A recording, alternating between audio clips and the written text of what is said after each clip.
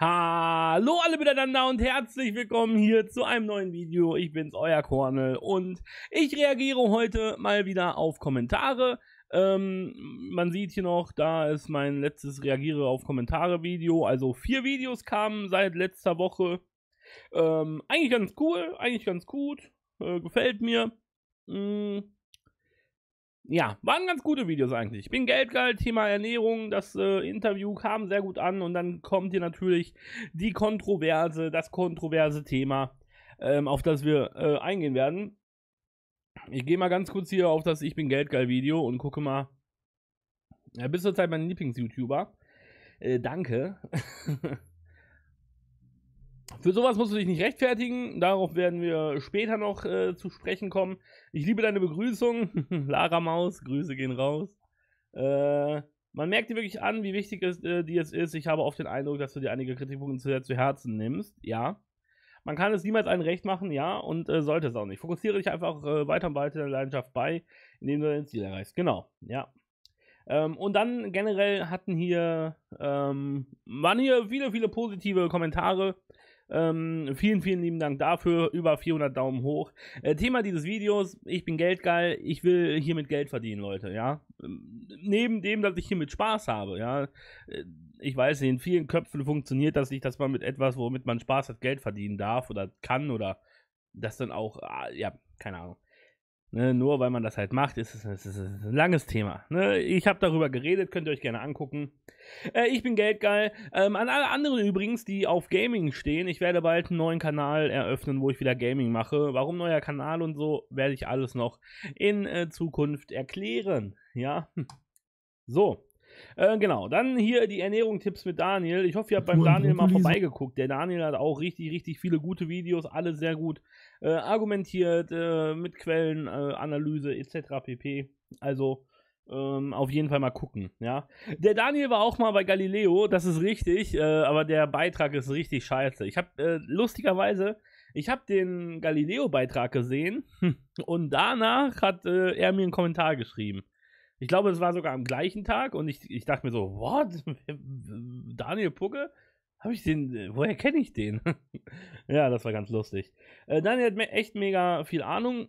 Der hat auf jeden Fall äh, Ahnung, wovon er redet. Hm, guckt mal vorbei. Ähm, cool, dass du professionelle Hilfe geholt hast. Ja, naja, professionelle Hilfe ist immer so eine Sache. Hm, super Sache, ein fitter Typ als Berater ist doch auch schön. Ja, auf jeden Fall. Ähm, das ist auf jeden Fall ziemlich gut. Vielleicht machen Daniel und ich in Zukunft auch nochmal was. Das Video hat relativ schlecht gestartet, ist dann aber trotzdem über die 4000 Aufrufe gegangen, hat eine gute Bewertung. Also vielen lieben Dank dafür. Ich dachte erst, es wird irgendwie ein Flop oder so, aber ihr habt es euch gegönnt und das freut mich, ja. Das freut mich. Ähm, so, genau. Ähm, ja, aber hier gibt es ja nicht viel zu sagen, ne, weil ähm, ich finde es schön zu sehen, dass du richtig motiviert bist abzunehmen. Ja, darauf kommen wir noch. Bla bla bla bla. Ne? Alles super, super, super. Auch wenig bis gar keine negativen Kommentare oder so. Ähm, es gab ein paar Kommentare, wo der Dani dann auch drauf geantwortet hat. Ne? Könnten wir jetzt mal hier kurz gucken, aber diese Suchfunktion, die funktioniert auch nicht so vernünftig. Ähm. Ja. Genau, auf jeden Fall. Ne? Auf jeden Fall sehr interessant. So, dann kommen wir jetzt mal zu dem Thema, auf das alle geiern oder das halt hier äh, wichtig ist, der Cheat Day und auch das Danke dafür. Hey, ich bin Ben und ich. Ähm, zuallererst möchte ich dazu halt auch sagen, wie auch in diesem Video hier Danke ne, erwähnt. Tolles Bild. Äh, ich, ich danke euch äh, für das Feedback an sich, ja. Ähm, viele Leute, ich bin auch vollkommen d'accord mit den Daumen runter, das ist gar kein Problem. Viele Leute haben geschrieben, ja, das hört sich alles eher nach Ausrede an ähm, und so weiter und so. Äh, und so ne, ich, darauf kommen wir gleich zu sprechen. Ähm, hier, viele, viele Leute schreiben immer, geh doch zu The Biggest Loser. Leute, nein, ich gehe nicht zu The Biggest Loser. Ich hätte wahrscheinlich, oder es, ich könnte mir eventuell Connections verschaffen, die mich äh, auch, die meine Chancen da mitzumachen erhöhen würden, aber ich möchte nicht. Warum möchte ich nicht zu The Biggest Loser? Weil ich The Biggest Loser nicht so optimal finde, weil wisst ihr, genau das ist ja das Problem, ne?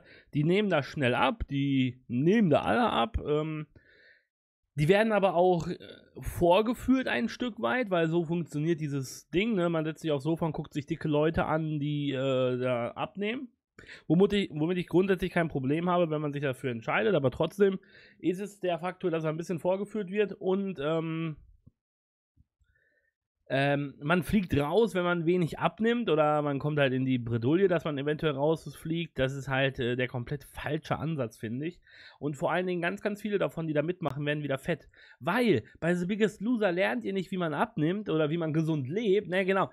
Das ist, genau das ist ja das ganze Problem der Sache, ja. Ich könnte auch probieren, eisenhart äh, durchzuziehen und äh, abzunehmen, aber ich möchte ja gar nicht, und ich habe das von Anfang an ja auch gesagt, ich mache keine Diät oder so, ich möchte nicht auf Biegen oder Brechen äh, jetzt, jetzt äh, 50 Kilo abnehmen, ich will 50 Kilo abnehmen.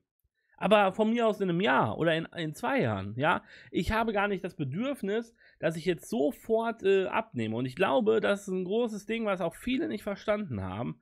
Ähm, und wo ich einfach ein paar Dinge anders machen muss. Aber bei The Biggest Loser lernst du nicht dünn zu sein, du lernst nur, wie du Gewicht verlierst. Aber du verlierst Gewicht in einem. In, die Motivation und die Atmosphäre bei so einem Projekt ist ein ganz anderes Ding wie der Alltag. Und viele Leute, viele von The Biggest Loser gehen danach wieder in den Alltag und werden wieder fett. Das bringt gar nichts. Ja, natürlich gibt es auch Ausnahmen. Ne? Das eine, die dann wieder Fitnesstrainerin geworden ist und so. Alles gut, aber ne, das ist halt die Ausnahme. Und ich möchte ja lernen, wie es ist, gesund zu leben. Ja, das ist der Unterschied. So, so wirst du es nie schaffen. Äh, ja, wisst ihr, wisst ihr, was das Problem ist? Dieses Video hier, ne? Ich habe basically, ähm, ich habe halt gesagt, ich will mich gesünder ernähren, habe ich hier auch gemacht, ne?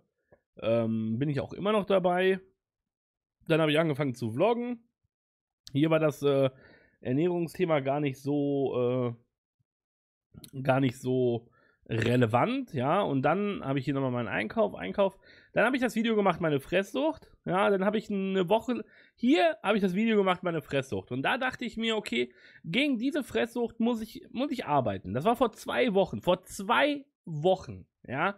Gegen diese Fresssucht muss ich arbeiten, okay. Dann habe ich eine Woche, habe ich mich gewogen, habe ich eine Woche lang nichts bestellt und habe einen Cheat Day gemacht, ja. Ähm, war auch noch okay, ne, war kein Problem. So, bam. Und das war eine Woche. Und dann habe ich eine Woche nicht gut gelebt. Ich habe also zwei Wochen. Eine habe ich gut gelebt, eine nicht. Davor äh, habe ich da ja gar nicht drüber nachgedacht. Ich habe mich da ja in diese Situation begeben. Und dann sagen mir Leute, nach zwei Wochen, äh, ähm, hier, wo ist es? Hier, nach zwei Wochen schreibt er dann, so wirst du es nie schaffen. Jungs, ich habe die letzten zwei Jahre in einem Zustand gelebt, ja, der unfassbar ist. Und wenn ich so weiterlebe, sterbe ich in ein paar Jahren. Aber ihr könnt, also ich weiß nicht, ob ihr wirklich so denkt, aber das wird man nicht in zwei Wochen ändern. Es ist ganz normal. Und in der Woche, wo ich viermal bestellt habe, ja, habe ich auch drei Tage nicht bestellt. Und äh, ich habe drei Tage keine drei Tüten Chips pro Tag gegessen. Oder, ne? Ich habe drei Tage lang, hatte ich ein Kaloriendefizit in dieser Woche. Ja. Und ob ich äh, mit der Bestellung jedes Mal auf mein Kalorienmaximum gekommen bin oder darüber hinaus, auch nicht. Ja, das waren vielleicht zwei Tage, wo ich wirklich krass bestellt habe. Deswegen, ja, ja, ich habe das vielleicht schlecht kommuniziert, aber das war, sowas ist halt übertrieben. Und wer denkt, dass ich hier das ist halt das Problem. Ich wollte euch äh, ganz, ähm, ganz natürlich zeigen, in jeder Einzelheit oder in, in klein, richtig kleinen Schritten, wie das Leben so funktioniert. Und ich bin euch dankbar, dass ihr geschrieben habt, dass es hört sich alles nach Ausrede an, weil da sind Ausreden dabei, die ich benutzt habe. Und äh, wenn das so nochmal bewusst gemacht wird, auch von anderen, ne, von außen, einen Output bekommt, kann man in der nächsten Situation dann natürlich viel besser drüber nachdenken. Deswegen bin ich da ja äh, ähm, glücklich drüber. Hier, jede Woche hast du eine schlechte Woche. Das ist halt eine Lüge. Das ist halt eine Lüge. Da habe ich geschrieben, nee, die Woche davor war sehr gut. Ne? Aber was soll dieser Kommentar aussagen? Duno by Dubi. Ja? Was möchtest du sagen? So. Das Ding ist ja, ne? Ähm, was auch schon einige geschrieben haben, wenn man aufhört zu rauchen, Zigaretten weglassen, ja, wenn man aufhört, wenn man mit, mit dem Essen arbeitet, du musst essen, ja, und es gibt ganz viele Dinge, die mich triggern. naja. Ähm, ich verstehe einfach nicht, warum du dir dein Essen nicht mal vorkochst. Vorkochen habe ich noch nicht gemacht. Das, äh, wenn ich jetzt ein bisschen Geld über habe, die nächsten Wochen werde ich mir vielleicht mal so, oder werde ich mir mal solche so billige Tupperdosen kaufen und dann werde ich mal so Food Prep ausprobieren. Mache ich dann auch ein Video drüber, ja? Äh, man will abnehmen und bestellt sich dann Chicken Nuggets, Pizza, Schnitzel und so ein Kram. Kann ich überhaupt nicht nachvollziehen. Es gibt doch mittlerweile auch mit Lieferanten, wo man sich gesunde Sachen bestellen kann. Äh, es geht ja nicht darum, dass ich äh, bestelle, es geht ja um die schlechten Sachen, weil diese schlechten Sachen geben mir einen Kick im Kopf, ja. Da sind wir bei der Psyche, ja, da sind wir bei der Psyche. Und ähm, es gibt nicht viele gesunde Dinge. Was willst du dir denn gesundes bestellen? Wenn du dir einen Schnitzel mit Brokkoli, dann ist da eine dicke Sahnesoße drauf. Generell, auch Salate, haben viele geschrieben, ist natürlich gesünder als eine Pizza und 20 Chicken. Aber in dem Dressing wird auch wahrscheinlich Tonnen an Zucker drin sein und generell ist das ja auch, es ist halt von einem Lieferservice. Das kann gar nicht gesund sein. Also man kann mal, äh, man kann mal bestellen, man kann mal Chicken bestellen, man kann mal Pizza bestellen, man kann auch mal Salat bestellen und das ist alles gesund. Aber es geht ja darum, dass ich das zu oft mache, weil es in meiner Daily Routine drin ist, ja. Und das ist halt, wie gesagt, auch ein psychisches Ding, ja. Und äh, die Ausreden, die ich euch präsentiert habe, das waren die Trigger, die mich getriggert haben. Und äh, ich finde es gut, dass ihr das so äh, klipp und klar gesagt habt. Corners sind Ausreden, aber wenn jetzt ein anderer Dicker, der sich irgendwie, der es nicht schafft, davon loszukommen, das guckt, dann wird er vielleicht diese Trigger wiedererkennen. Ja, dann wird er das vielleicht gucken und sich denken, ja, so denke ich auch immer. Aber wenn ich das jetzt bei ihm sehe, ist eigentlich nur eine Ausrede, oder? Und, und, und vielleicht hilft das jemandem. Das war mein Gedanke dabei, dass ich das so offen mache, ja, dass ich dann so teilweise wirklich böse Kommentare bekommen habe, das hat mich tatsächlich äh, ein bisschen traurig gemacht, muss ich sagen. Ich bin ja jemand, ich, ich mich jucken Kommentare nicht, aber dass äh, Leute so böse waren, das, das hat mich ein bisschen traurig gemacht. Nicht, weil ich mich beleidigt gefühlt habe, einfach nur, dass andere Leute so bösartig sind. Weil ich bin jemand, ich glaube immer das Gute im Menschen. Ne? Wenn hier einer einen bösen Kommentar schreibt, dann denke ich mir so, okay, der ist mit Sicherheit ein netter Typ und wenn wir uns treffen würden, würden wir ihn wahrscheinlich gut verstehen. Aber manche Leute haben schon übertrieben. Ich habe, glaube ich, zwei Leute gebannt auf meinem Kanal, keine Ahnung. Ähm, was machst du denn beruflich? Ich arbeite momentan noch im Callcenter. Ja, ich sitze da und telefoniere. Hallo, äh, äh, ist kaputt? Ja, äh, ja, ja, okay. Ne, die rufen mich an und ich helfe denen. Ähm, vom Marathon sprechen, aber nicht mal zwei Wochen am Stück gesund ernähren. Ja, Hoffno, wenn du davor jahrelang schlecht gelebt hast, dann äh, sagst du nicht einfach, okay, jetzt ändere ich alles und dann hast du eine Woche gut und dann ist okay. Wenn es so einfach wäre, Leute, das ist ja auch der Punkt, ne? Die, das, was du hier sagst, Hoffnung, natürlich ist es dumm, ja? Natürlich ist es dumm. Such nicht Ausreden und äh, zieh durch. Ich werde, ich werde versuchen, immer weiter durchzuziehen. Ja, ich muss gucken, ich muss versuchen, wie kann ich mit, äh, damit umgehen. Das sind auch Dinge, die ich jetzt mal lernen muss. Wenn ich Schokolade im Haus habe, nicht die ganze Schokolade auf einmal essen. Das hört sich jetzt vielleicht doof an, aber das sind Dinge, die ich lernen muss. Ja, mir mal irgendwas kaufen, ein bisschen essen und dann wegpacken und dann vielleicht nach drei Tagen wieder ein bisschen essen. Ja, ich muss mir irgendwann meine Ch Tüte Chips kaufen, mir eine kleine Schüssel fertig machen und dann die drei Tage im Schrank lassen. Das sind Dinge, die mir schwer fallen, ja. Und das sind die Dinge, die ich jetzt lernen muss. Deswegen, Leute, ich habe niemals gesagt, dass ich durch die Bank weg äh, 50 Kilo in zwei Wochen abnehmen werde. Ja, deswegen. Was habe ich falsch gemacht, lässt, äh, kann man sich hier fragen. Ähm, ich habe es zu detailliert äh, beschrieben alles. Ich, ich war zu offen, wahrscheinlich. Ich hätte das über einen größeren Zeitraum machen müssen. Deswegen mache ich das ja jetzt auch mit der Mai-Challenge. Ja, wenn ich Ende vom Ende Mai kann ich mich hinsetzen und dann, wenn ich dann sage, boah, ich habe in dem Monat ich hatte drei Tage, da war es echt scheiße und ich habe mich irgendwie überhaupt nicht und ich habe dann dreimal bestellt. Wenn ich das am Ende von einem Monat sage, ja, ähm, dann, ne, dann sagt ihr, okay, dreimal ist zu viel, aber ey, im Monat 30 Tage, jeder zehnte Tag, ey, das ist gar nicht schlecht. Und hier, hier habe ich in einer Woche einmal bestellt, hier viermal, sind fünf, ne?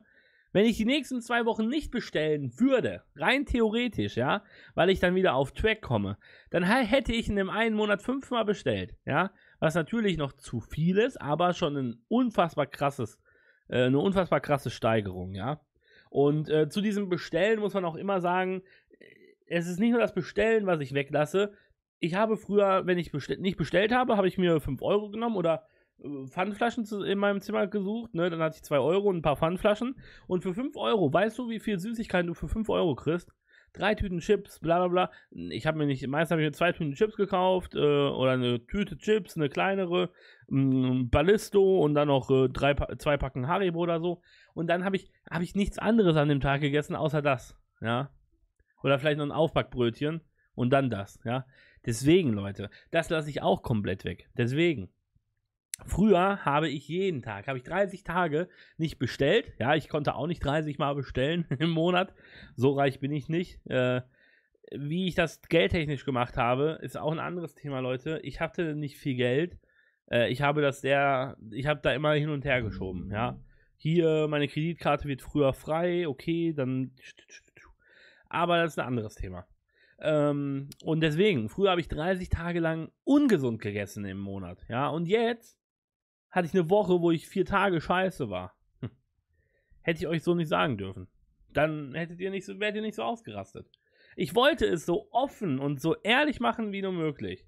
Ja, aber ich habe gesehen, dass ihr komplett ausrastet. Dass ihr, keine Ahnung, was soll ich machen? Was soll ich machen, Leute? Ja, keine Ahnung, was, was, was soll ich machen? Ich möchte diese Videos machen, weil ich anderen fetten Menschen da draußen helfen möchte, auch äh, daran zu kämpfen, über diese Trigger äh, zu kommen, ja. Ähm, so, zu oft bestellt. Ja, hier, ich glaube ehrlich, ich glaube ehrlich gesagt, das ist eine ernsthafte psychische Erkrankung. Ich bin fresssüchtig, Kosmos, ja. Und auf das Übergewicht ich bin, ich habe immer gegessen, ja, und ich bin übergewichtig geworden. Immer wenn es, ich habe immer ähm, zugenommen stark, wenn es mir sehr schlecht ging. Ich hatte immer Phasen im Leben, wo es mir sehr schlecht ging. Und diese Phasen, das waren die Phasen, wo ich nicht wusste, was ich mit meinem Leben anfangen soll, ja. Weil ich finde es toll, wenn ihr einen Job habt. Ich finde es toll, wenn ihr acht Stunden am Tag arbeiten geht. Ich für mein Leben, für mich, ja. Ich habe ein Problem damit, einfach zu sagen, ich werde jetzt diesen Job lernen und mein Leben lang Einzelhandelskaufmann sein oder so. Damit habe ich ein Problem. Das macht mich ernsthaft traurig, so dass ich an meinem Leben zweifle. Ja, deswegen habe ich studiert, was nicht das Richtige für mich war und deswegen arbeite ich momentan im Callcenter. Damit ich, ne, damit ich ein bisschen frei bin. Ein bisschen wenigstens. Freiheit ist das Wichtigste für mich in meinem Leben.